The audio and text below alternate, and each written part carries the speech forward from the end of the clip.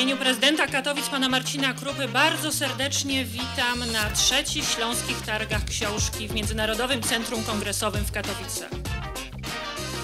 Ogłaszam mniejszym, że targi śląskie ja uważam za otwarte i po prostu są otwarte od tej chwili. Dziękuję bardzo.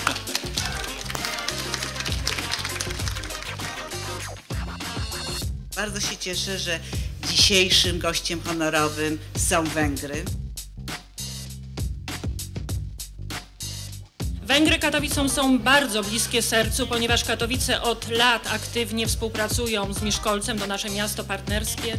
W Katowicach jest również bardzo wiele miejsc, które są dedykowane naszej wspólnej historii. Również miejsce, gdzie odbywają się targi, to miejsce symboliczne, to plac Antala i Sławika.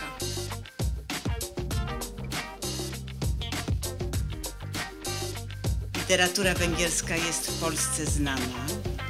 E, To jest takie piękne domknięcie roku kultury e, węgierskiej w Polsce.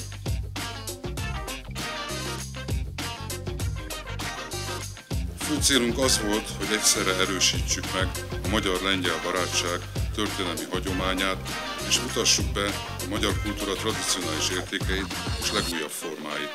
Bízom benne, hogy a rendszerváltás óta felnőtt, fiatalabb korosztályok számára is izgalmasan, élményszerűen tudunk megjelenni kultúránk legjavát, hozzájárulva ezzel a két nemzet közötti, mind a mai napig meglévő rokonszerv megújításához.